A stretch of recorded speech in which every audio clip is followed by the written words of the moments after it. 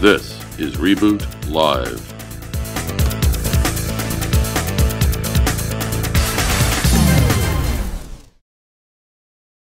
Hi folks, my name is Derek Cassidy. I'm the security lead for Oracle Public Sector here in North America.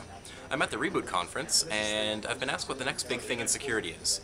Personally, I think the next big thing is going to be risk adaptive policy based authorization based on attributes. Who you are, where you come from, what you should and should not do to grant access to information.